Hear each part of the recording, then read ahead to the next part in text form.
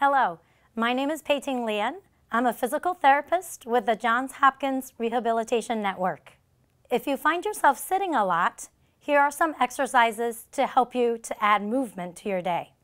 This first exercise is going to help you to tie in the right side of your brain to the left side of your body and vice versa. What we're going to do is we're going to take the right hand and tap the left knee and left hand tap the right knee.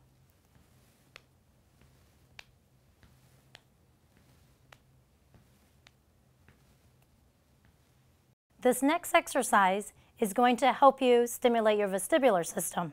These important systems are located within your inner ears and they are very important for our balance and telling us where we are in space.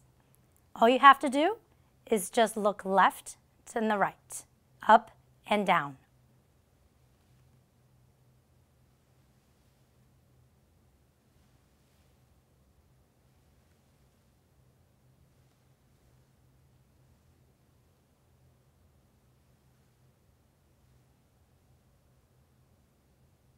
And another way to stimulate your vestibular system and stretch out your lower back muscles after sitting all day is by twisting in your chair.